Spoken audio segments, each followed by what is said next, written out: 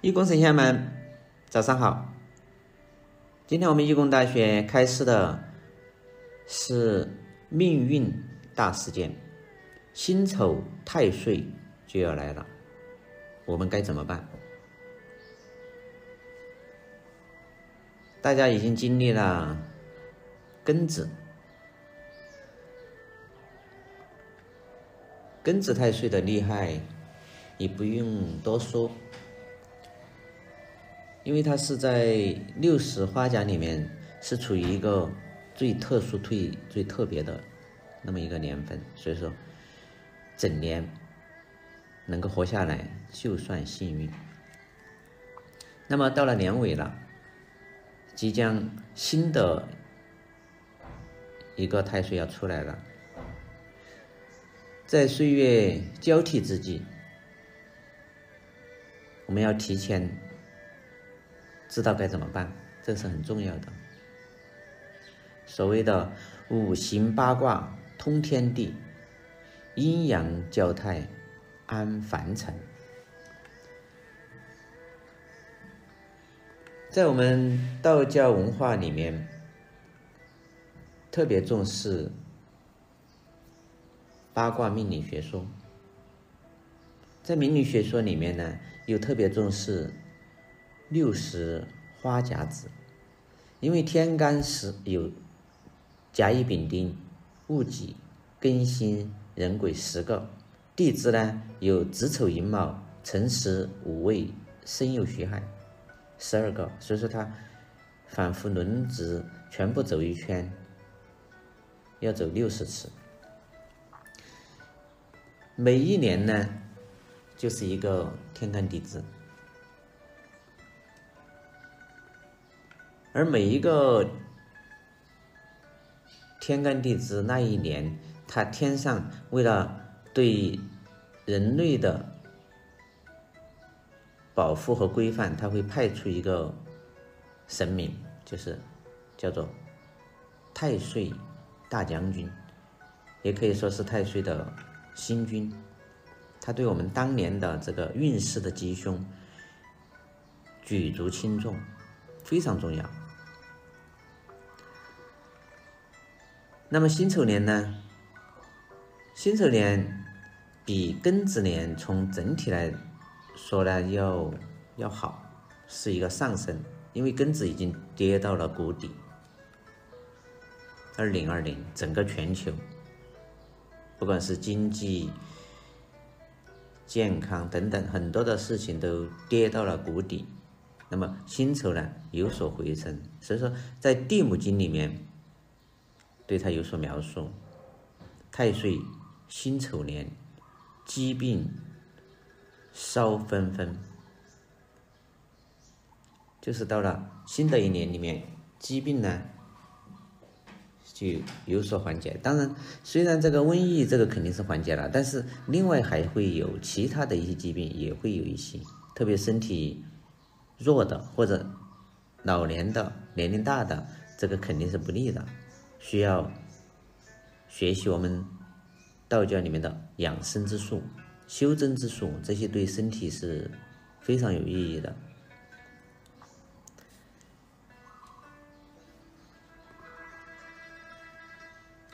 那么今年的执念太岁呢，叫什么名字呢？叫做阳性大将军。历史上曾经出现了两个阳性大将军，一个是在。汉代，汉代的杨姓大将军呢，他是作为汉武帝派出的使节，相当于外交官，到匈奴。由于他性格刚正、正直、忠贞不二，所以说他作为一个书生，却成了一个。将军不辱使命。然后明朝呢？明朝也有个杨信，明朝的杨信是一个大将军，身世不凡，也是修武修文，文武双全，而且所向成功，成为当时的一个名将。很厉害的，身后都被封为太岁。太岁都是武将，所以说一般来说，每年的太岁不能去冒犯。武将的特点就是性格很刚烈。二零二一年这一年呢，有五种生肖是会冒犯了太岁。一旦发现自己是冒犯了太岁的话，就得用。太乙道系的特别的一些方法来进行化解，否则的话就会很麻烦。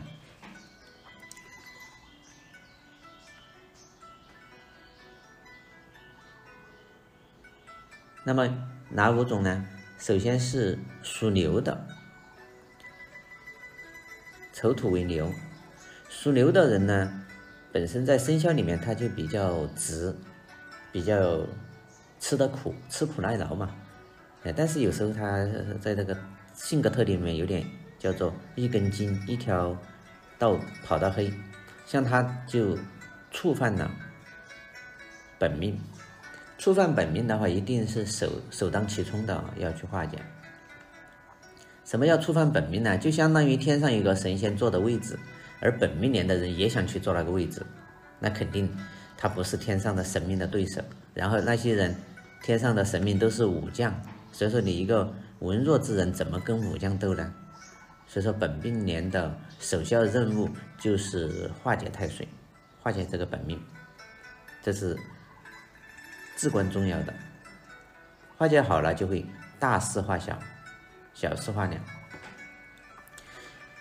第二种生肖呢是羊。未土为羊，羊跟这个牛呢是六冲的关系，它会冲杀，起冲突。你一个小小的凡人跟天上的这个太岁起冲突，那还有什么好果子吃啊？就像一个人跟那个老虎起冲突，那除非是武松可以打老虎，但是就算武松打老虎，自己也累个半死，更不要说普通人，肯定被老虎吃掉。所以说，属羊的人也要。提前规划化解太岁，这些都不是普通的方法。很多人用普通的方法去买一个什么工艺品来作为化解，那个作用很小。真正的作用是需要通过道系的善知识，用特别的方法，借助天尊的力量，才能化解。因为天尊的地位是在太岁之上，很很远的地方，所以说他们的那个加持力，太岁必然就规避。天尊的那种加持力，必然让太岁不能来危害这些属羊的人。第三个生肖呢是属狗，狗为戌土，狗跟这个。丑土的关系呢是相刑，刑是很厉害的，就是说有可能受伤啊之类的，或者出现其他的麻烦、破财等等，因为刑害呀、刑法呀都是不好的，所以说属狗的也是要引起很大的重视，否则的话莫名其妙出现一些意外之事就不好了。然后呢，就是属龙的。属龙的这一年呢也不好，也是会触犯到这个太岁，给自己带来很多的叫做无妄之灾。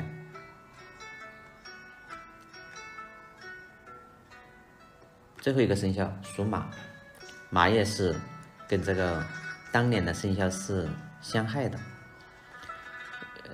咱们一个小小的凡人怎么能够跟太岁相害？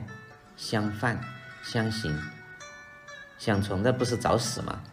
所以说，这就是在我们五千年以上的这个道教文化里面非常重视的这五个生肖。化解的方法呢，都是按我们道系的，可以根据自己的情况不太严重的，它就是直接一次的化解。有的人他想化解的更彻底的，他就可以三天、六天、九天或者倍数，或者一个月，或者三个月，或者半年，或者一年，这些是属于最严重的，他可能整年要处于那种加持的力量之中，相当于天上有太岁要来惩罚你，但是呢，天尊那里呢有一个保护伞，一直把你罩住。这个是非常重要的。除了这个以外，其实还有一些问题也要注意，不能去冲犯这个方位。看看丑土在哪个方位？东北方。所以说，在东北方的位置的话，就不能去动土。动土就相当于在称为太上头、太岁头上动土。就是指的房屋的东北方，或者是自己出生地的东北方，这些都不能在这一年不能动土，只能安安静静静待这个太岁巡落之后的下班。当这个太岁下班了，就是一年过去了，那你就可以动了。否则的话，那就是自找麻烦。好多人出现一些问题，都是自己不懂得这个。道教文化而让自己自己把自己伤害到了，更不要说当自己弱的时候，特别是这五种生肖，它处于一种弱的状态，那么冤亲债主出来了，因为冤亲债主一直想报复这些累生累世的业障，一直如果这个人处于很强大的状态，那个冤亲债主的报复的力量就被压制住了，他报复不了，怎么办？太岁来了。借助太岁的力量报复，这个叫什么？这个叫做落井下石，或者叫墙倒众人推。所以说，好多人走运的时候趾高气扬，然后突然不走运了，墙倒众人推，突然感觉每个人都不可靠了。其实还是要检讨自己，而检讨自己的方法就是忏悔。所以说，在化解太岁的时候呢，自己要真心忏悔，把过去式的。这些业障啊、冤亲债主啊，得到他们的谅解，这是重中之重，然后进行配合。所以说，我们会有一个系列，要对这个太岁进行开示，就是它真的太重要了。如果大家还不明白它的重要性的话，其实庚子年已经演绎了一次太岁的力量。其实，在历史上，辛丑年也是